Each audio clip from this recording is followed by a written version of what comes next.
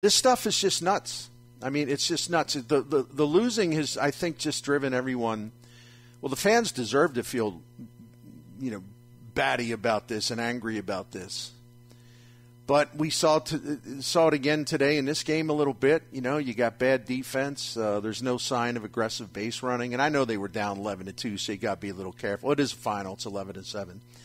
Um, and then you got the manager going off last night, and uh, I that one was really strange. And of course, it, you know he got the he got the little pat on the back treatment by the by the local media. You know, oh, you know, Oli's just passionate. Okay, uh, why doesn't Ali do something to you know just kind of get the team going, or or maybe uh, you know uh, brushing up on the fundamentals that have become glaringly mediocre: base running, defense. Um, where's the general manager? Uh, is are they are they ever going to do anything in terms of this rotation? And uh, then you're you know you're listening to the broadcast. You don't know you don't know if the Cardinals are losing eleven to two or they're up eleven to two because everything's swell. Jim Hewer, I'm serious. I know this sounds like I'm doing a radio shtick, and I'm not. It's like this is absolutely nuts. I mean, everything, it's not just the way they're playing, it's the stuff the manager says, the stuff you hear in the broadcast. I mean, just. You know, you know. Earlier this week, Nolan Arenado he con- he doesn't understand why people are making such a big deal of the fact that they were, I think, ten and twenty at the time. What what is it that these people expect? I tell you what, what do they expect? They're now ten and twenty-two. What are, what are they looking for exactly? I'm I'm questioning that. I you know I once used the term recently, sense of urgency. I think that's going out the the window. I'm wondering if they have a sense of uh, what's the different just the sense of reality. Maybe yeah. It's like, come on, guys. Do you know where you're at? As you just pointed out, you, you're at the very bottom of what's going on right now in Major League Baseball.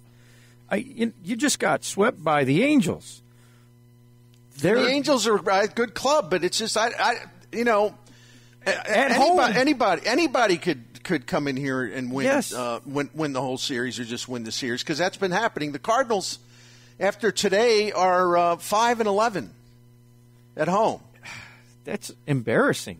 It is, and they, um, I, you know, I, I repeat, they well, actually, I got to make sure of this, but they haven't won a series at home since they took, pardon me, two out of three from um, Toronto. They did split four with the with the Pirates, but they can't win at home anymore either.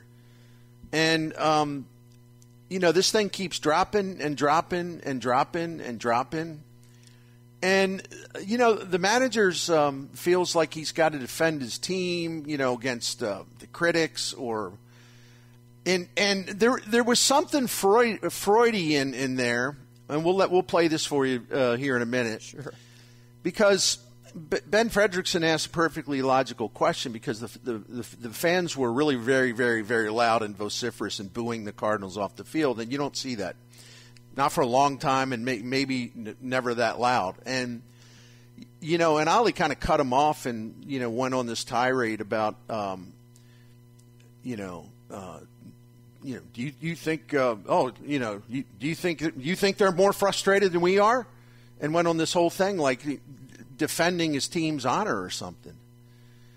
And does a manager of a t- 10 and 22 team that plays mediocre baseball and is fundamentally shoddy and has just reprehensible starting pitching, d- does a manager in this situation does he get the? Le- I didn't realize he gets to lecture everybody.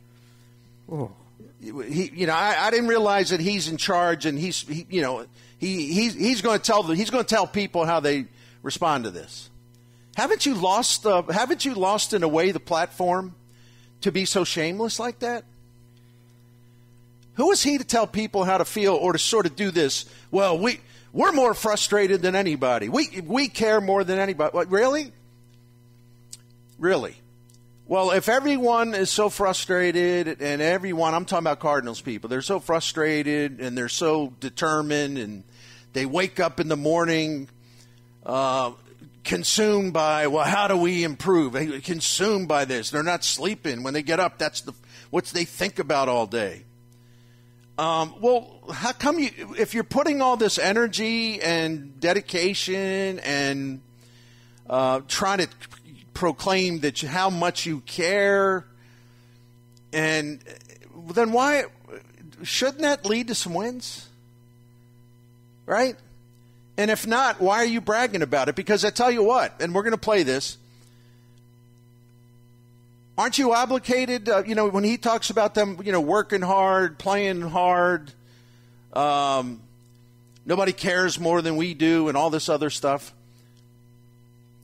Can I at least introduce one little concept into that stuff, which is um, putting in a, putting in a great effort, being frustrated and determined to turn things around and all all these other things. Um, let me let me interject something. Uh, isn't you know kind of your job? So what? So what do you? What do you? you know, Oli's getting like Shildt. What, do you want us to do? You're sort of bragging about how hard you work, how much you care. You you get out of bed and you're consumed with the idea of how do we get better uh, you want bonus points for that? You want what? What do you? What exactly is it that you want? That is what your job is to give a damn. That is what your job is to work hard and get sick of losing and doing something about it. That is that is the minimal obligation you have. So what is this? You know, like uh, this this plea for whatever he's pleading for if you listen, you're supposed to give a damn. You're supposed to give max effort. You're supposed to care. You're, you're supposed to just dig and dig and dig until you get out of this thing. But I, I know I'm being um, redundant, but isn't this kind of a your minimal or your minimum job requirement? What you want credit for that?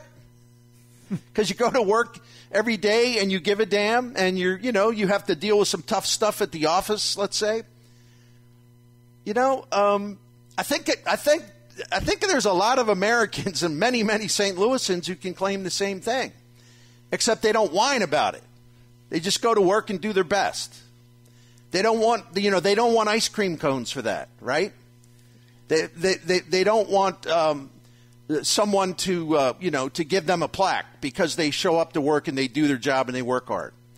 This guy, um, I don't know what he wants. I'm still confused by what he wants. But to actually, in effect, kind of sit there and take all this pride with your your your chest puffed out about how hard you work.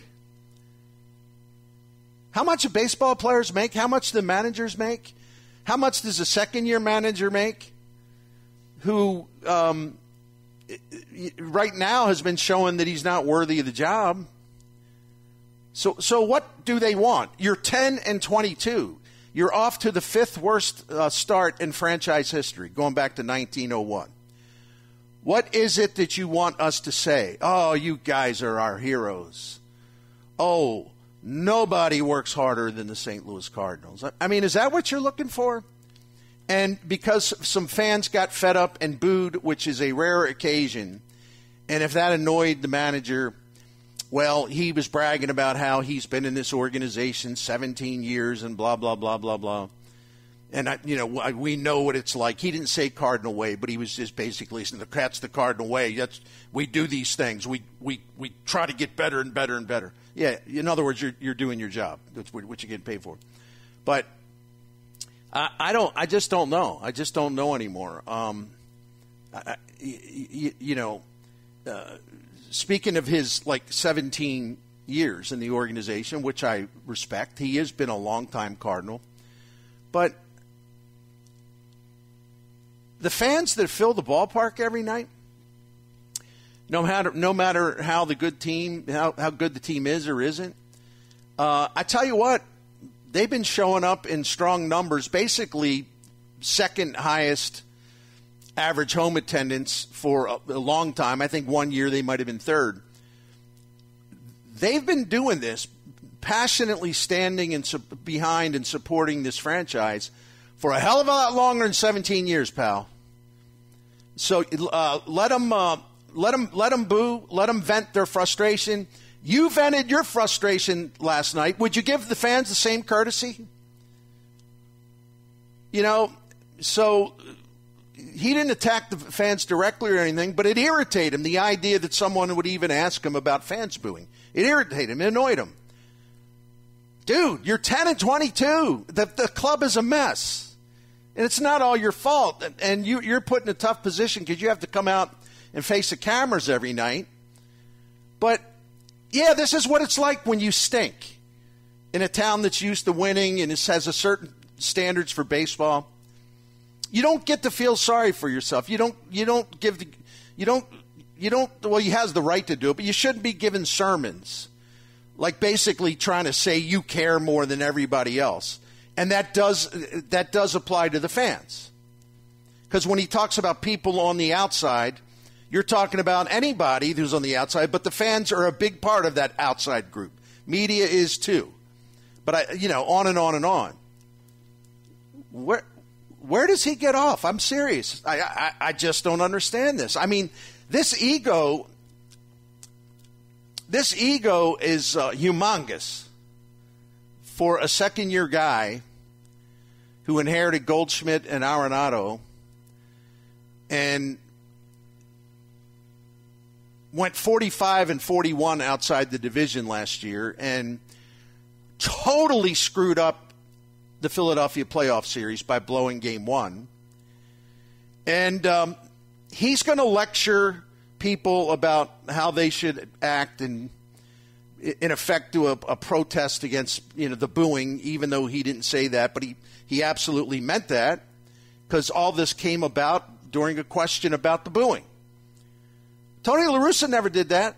Seriously, I covered a guy 16 years. Him, and he and I get, you know, would uh, would bang heads sometime, but we'd always have a frank discussion. And the, the you know the one thing Tony La Russa said over and over and over and over again you know, when people would ask him about booing, or people would ask him about media criticism, or they would ask him about give him a chance to kind of like feel sorry for himself, he, he would always cut that stuff off. He's the exact opposite of this guy. La Russa, one of his favorite sayings when these kind of things came up, let me quote it again. Um, if you can't take the heat, go find something else to do for a living. Right, Jim? I mean, it's one hundred percent true. That's and, and and yet the, this guy just uh, uh, you know uh, he's he's now in charge of uh, public discussion or something. You could never.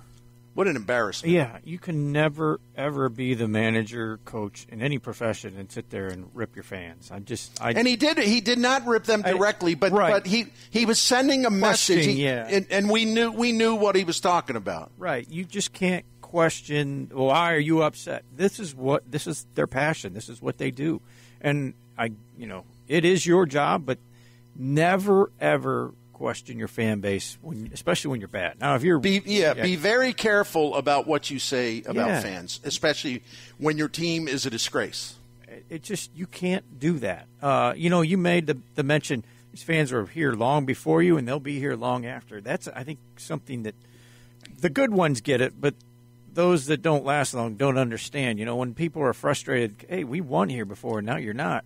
Well, that wasn't me. Well, you know what? That's us, as the way fans look at it, and that's the way you have to include them into everything that you're doing. Not necessarily decisions, but you have to include them as, hey, you're part of this too, and uh, we're working on it. You know, they're doing their the fans are doing their job. They're showing up uh, forty thousand strong every night. That's exactly right. And this has been going on for years and decades, even. Uh, they're doing their job. So I don't want to hear, you know, you like taking a uh, question about the booing from fans and without ripping the fans directly, but you take that opportunity w- when someone asks you about the booing fans. You take that opportunity to kind of change the subject in a way, and it becomes this whole thing where you're saying like, um, Well, well, he did say to Ben Frederickson, he says, "What? what you you think the fan? You think they care more than we do?" That's an inappropriate comment. Yeah. Because you're showing that you don't get it. And if you have to go, you have to go on, uh, on you know, deliver a sermon from the from the mound, all, and and you know, you defend your team about you know effort and how much they care and all. Your insecurity is showing because you're the manager of all this and you cannot get a response from your team. So he uh, he gave the big talk last night, the fiery sermon, and um, I, I, was curious to see Jim. Mm-hmm. So look, I don't believe in these things so much, but every now and then it happens. You know, whether you're Herb Brooks or someone else. You know, sometimes a manager or a coach will go like this, you know, and just sort of just make a make a bunch of noise and and maybe it's really he's doing it so the players will see it and hear it and remember, you know, that he um, he's fighting for them against all these evil people, you know. Right. And I thought, um, we're going to find something out on uh, Thursday afternoon. We're we're going to find something out. We're going to find out real quick. This big show he put on last night, uh, that I think was in part designed to send a message to the players and to get the players more fired up and motivated. The score was 11 to 2 like early in the game. So yeah, it was know, rough, you're right. Well, so uh, my point being like, well, uh, that sure worked great. The rah-rah. Oh man. I tell you what. I tell you what. And the thing of it is, he's not going to get fired because Mozeliak would have to admit to another managerial mistake. But it's going to get interesting because if this continues, um, there's got to be a shakeup. And I'm not even again. I don't even I don't even consider Marmol being fired possible. Not because the general manager doesn't want to uh, direct even more of the glare on him. How, how many? You know, hey, hey, Mo, how many managers is this now? You fired two, now you got a third, and we're talking about since the middle of July of um, 2018. That's not that long ago. So, what, you got third manager? You you really gonna you really gonna you hire a fourth? I mean, oh my goodness. Uh, so, I don't, but there, listen, there's got to be some kind of a shakeup. And uh, let me let me tell you what does not qualify as a shakeup demoting or optioning out Jordan Walker and to take his roster spot, you bring up uh, Taylor Motter. That's not a shakeup. That that is right. not a shakeup. That's not, not that's not a shakeup. Or you know, bringing up a relief pitcher. That's not a shakeup. I think I think a major shakeup is due soon not saying right now. Well, I know a lot of you listening, and I hear you. You would say, "Well, yeah, it is. It's they got to do it now." I'm just like you know. I'm. It's my pragmatic side. I. I don't. I don't believe that Mo will do it now, or DeWitt will suggest something now. So I'm not even talking about them doing it now, but it's got to happen soon. And uh, let me tell you this: uh, bringing Adam Wainwright back. And this is not a shot at him, although his worshippers and he himself will consider that because you're, you, you, there is no tolerance for anything except total worship, you know. Yeah. Um, but uh, plugging Wayno back in, that's not a shakeup. Having him in the dugout's not a shakeup. You just had a guy who was your once and future ace give up two, two, uh, nine hits and ten earned runs in two and a third. And the front office has yet to e- even touch the rotation. Now they might. They may flip uh, Steven Steven Matz to the bullpen and get uh, Matthew Liberatore up here.